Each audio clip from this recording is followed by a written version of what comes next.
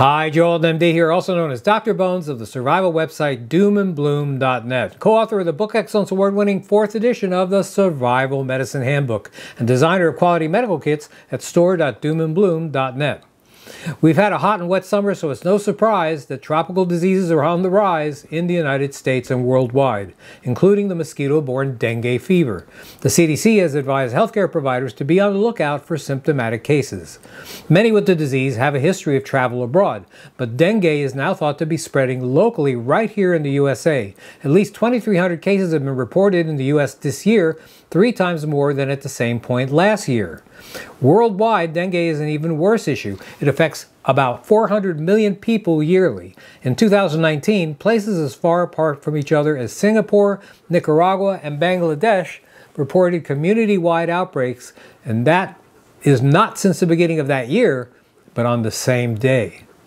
So what is dengue? Dengue is a flavivirus that's spread by infected Aedes and other mosquito species that are acting as vectors.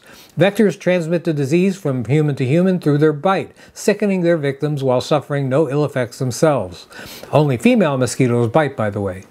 There are several different subtypes called DenV1, DenV2, DenV3, DenV4, etc., which all present with similar symptoms. Infection with one subtype of dengue usually gives lifelong immunity to that type, but only short-term immunity to the others. Now, if you get infected again with a different subtype, the second infection actually increases the risk of a more severe version of the disease. So what are the symptoms of dengue fever? Thankfully, most dengue infections are asymptomatic. That means you don't even know you have it. If you're in the unlucky minority that gets sick, however, you can expect signs and symptoms about 4 to 14 days after the infectious bite. You may see a high fever, up to 104 degrees Fahrenheit, wow, and that is usually of sudden onset. You'll notice severe bone, joint, and muscle pain, so bad that dengue's nickname is break bone fever. Severe headaches, pain behind the eyes, fatigue, nausea and vomiting, skin rashes, these are all additional symptoms you might notice. So why are dengue cases on the rise?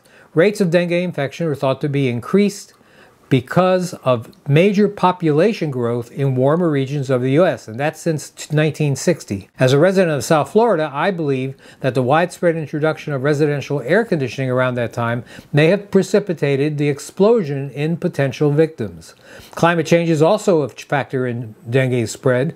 Temperature highs down here in South Florida are a couple degrees higher and increasingly warm and wet summers are favorable for breeding mosquitoes. The influx of migrants who have asymptomatic dengue may actually play a part in local mosquitoes becoming infected in the U.S. these days. Thankfully, most resolve those symptoms within a week or two and become immune to the specific strain of dengue they contracted. Remember, though, there are four. If anyone with a history of dengue fever gets sick again, though, it's likely with a different strain and is often worse than the original. Although most will still recover, a small minority will develop a life-threatening version of the disease called dengue hemorrhagic fever, characterized by resistant fevers, bleeding from the nose and gums, blood and lymphatic vessel damage, and liver enlargement.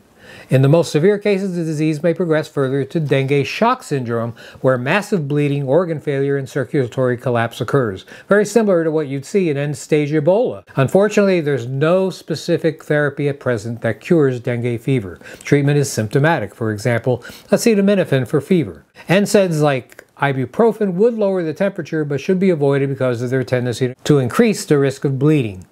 Ensuring the patient is well hydrated is extremely important, as is bed rest.